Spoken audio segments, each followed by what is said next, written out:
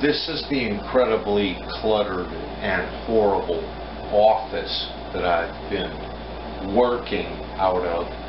And I wanted a lighting control that would turn on lights in the kitchen when I walk in there when it's a little too dim. So the dividing line is this metal strip that you can barely see. Let's do this. There you go. Now I have lights in the kitchen. How did I do this?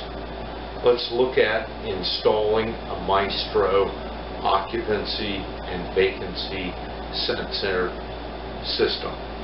By the way, this same install has a vacancy sensor mounted on a double gang box that allows you to turn this guy on and I think the timeout is 15 minutes that I've set it for and it can say anything from the walls playing over.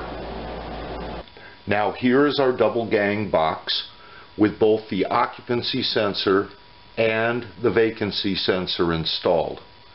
The vacancy sensor has been left open.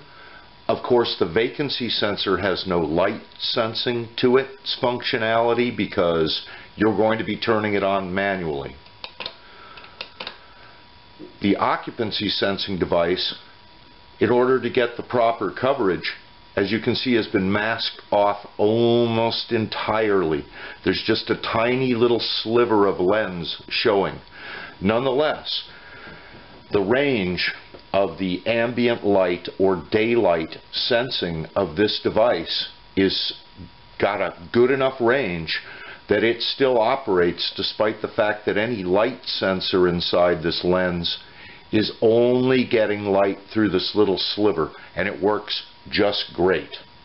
And we'll show you that in just a second. Well, it's about 3.30 in the afternoon, late in June. We have sunlight coming in this window, and starting at about 2 p.m., before direct sunlight even came in this window, the occupancy sensing device sensed that lighting level and stop turning on the lighting automatically it is remarkable that you can get this kind of behavior out of this occupancy switch despite the fact that we have almost all of it masked off.